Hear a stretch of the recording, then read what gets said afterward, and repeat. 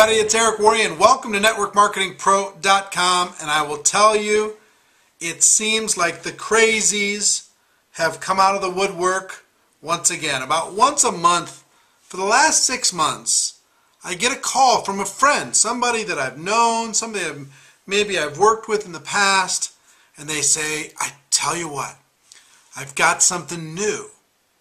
And it's a money game. I'll just tell you that right now. It's a money game. We think it's going to last maybe a year, two years. It's not going to be long term, but we think we can make some money.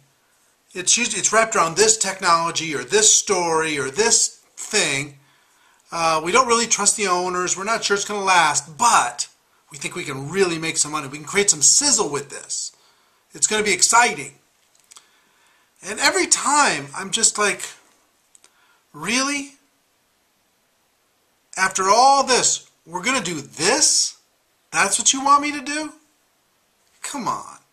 I mean, the best parts of network marketing is to build an organization, build the residual that comes from that organization, build relationships with the people in that organization. Um, it's not about a quick hit. It's not about get in front of the next quick wave. It's about building a career.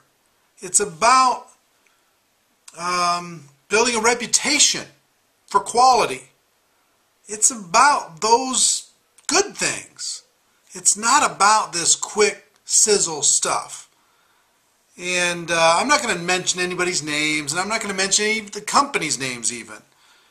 You hear about it, and you know. And you know what? The leaders in those opportunities also know it's not going to last that long.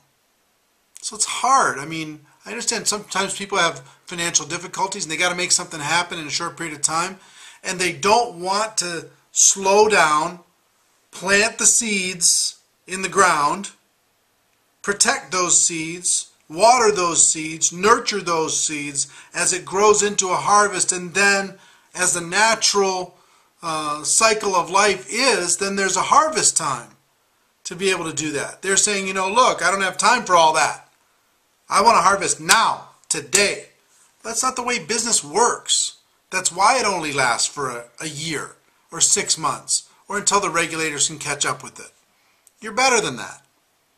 So what I would tell the people who are intrigued with those things and they know it, that it's not real, it's not long term, step away from the crack pipe. Just say no.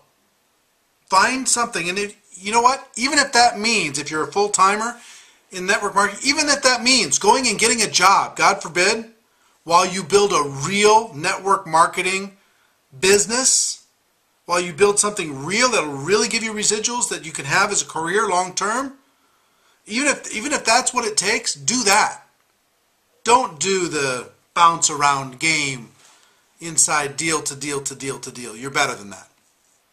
So, that's our show for today. I hope you got value from it.